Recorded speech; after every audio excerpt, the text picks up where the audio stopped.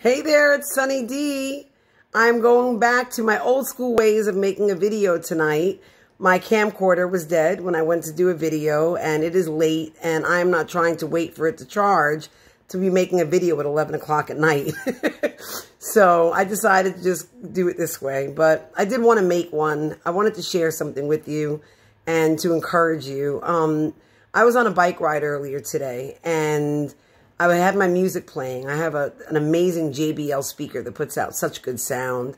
And I have a playlist that I made that I ride when I ride and it's all Christian music. And there were like four different people that said something to me about my music as I was riding along. One lady gave me a thumbs up and said that she was digging it.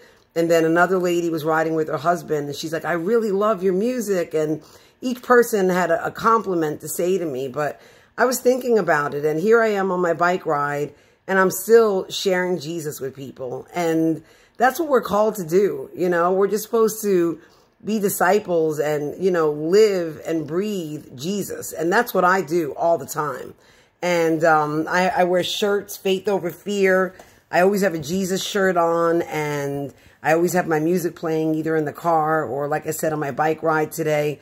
But just imagine if like one of those people were maybe having a bad day and they heard just a snippet of my song that maybe encouraged them. Like how cool is that? I love it.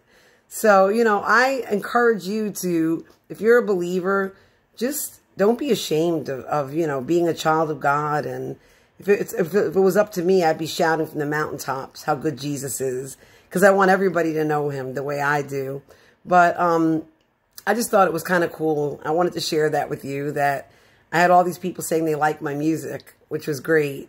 And, um, you know, share Jesus with people. That's what I want to tell you. You know, I, I just shine his light. That's what I try to do.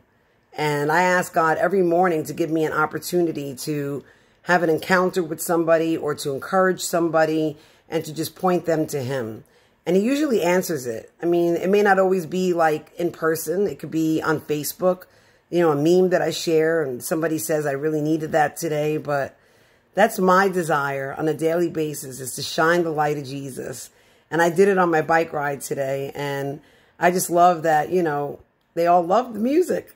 I think it's awesome. so that's what I wanted to share with you. Just a quick little video, but Thanks for listening. I'll be back tomorrow, hopefully, with my camcorder. But you have a blessed night, and I wish you a blessed Tuesday.